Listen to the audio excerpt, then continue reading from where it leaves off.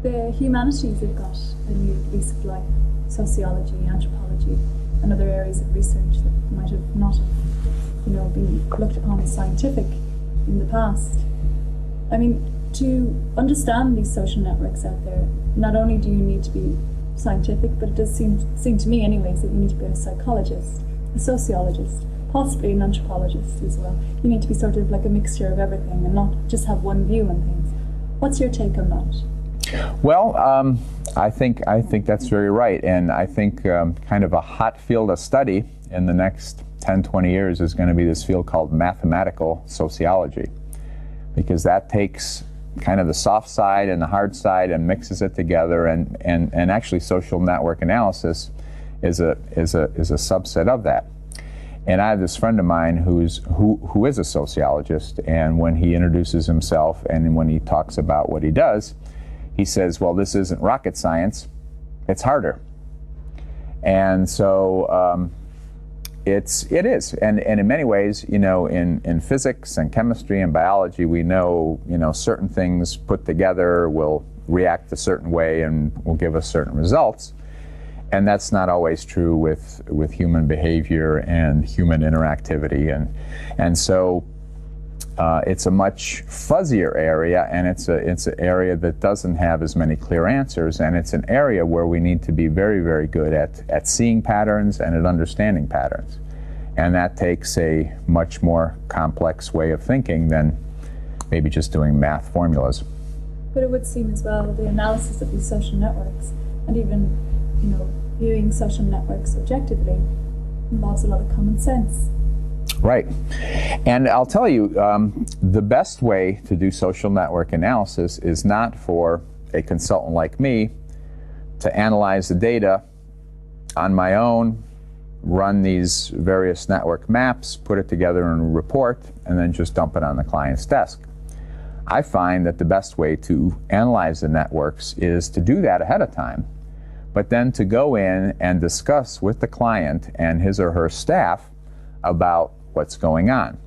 Because I bring certain knowledge about networks and organizations and network analysis to the table, but I'm not an expert of what it's like to work in that organization. But those people are. They're there every day. And so both of us coming together and combining our knowledge and having a conversation and doing sense making about it, I think is the best way to analyze what's going on. Because I can bring one map to, to IBM and show them, and they might say, yeah, that's perfect, that's exactly what we want. And I can bring a very similar looking map to, um, to the Ford Motor Company, and they'll look at it and they'll say, oh, well, that's not what we want to be look, doing, and that's not what we want to be looking like. So each company has their own way that, that they want to do business, that they want to get things done. And so there's no right answer from these network maps. There's not like one network map that I could show to anybody and that would be the best way that they could be.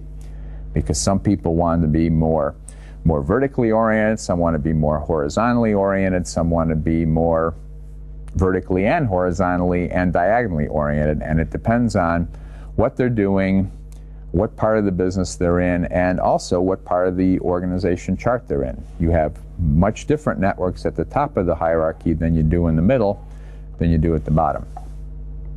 The graphs you had on show yesterday on slides, the social analysis graphs, there must be a big danger if these were to be interpreted in the wrong way. I mean, what would be the implications of that? I mean, surely they would be very serious indeed. So you would need to be extremely careful. Right, and that's that's one of the roles that I play as a consultant when I work with my clients, and that's to what I call keep them out of the weeds. And um, because what, what, what can happen is, and, and I've seen this before, I've seen this probably hundreds of times before. If I had a dollar for every time I'd see it, I'd be a very rich man. Uh, where, we, where we show a map and somebody is showing out on the edge of the map. They're not that connected.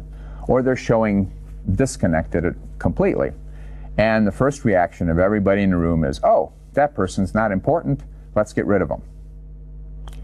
Or you'll see another map where somebody's densely connected in the middle of the network and um, with lots of lines going to them and all that, and, and everybody looks at that and says, "Oh, that person's very important. You know, we need to give that person a promotion." And what, in fact, might be happening is that the person in the first graph, the first network, might be disconnected be, or might be loosely connected because that's a map of something that he or she is not deeply involved in. So, for instance, um, this actually happened with the project that I did um, with, with my own org organization, again at TRW. We had a map that showed my boss very loosely connected to this one, this one network. And people looked at that and they said, wow, why is the boss of this department so loosely connected?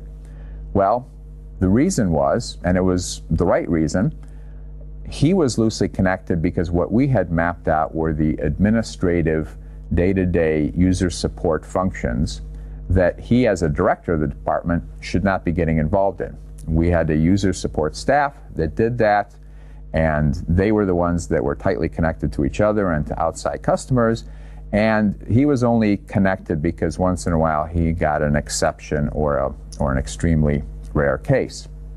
Yet when we looked at a map of our department planning strategy and planning on what products and services we would offer to the rest of the organization, he was in the thick of things. So, so there, you know, somebody just looking at the first map would have said, ah, fire the guy. Looking at second map would have said, ah, that looks like a boss who's in the right place. So you have to, again, be aware of the context. And, and as, as a consultant, that's one of the um, things that we have to be real good at to, to guide our clients through this analysis and don't let them, you know, veer off to the right or to the left and, and, and make a mistake in interpreting. Okay. Valdis, thank you very much for your time today. It's greatly appreciated. Well, thank Enjoy you. the rest of your stay in Galway. I will.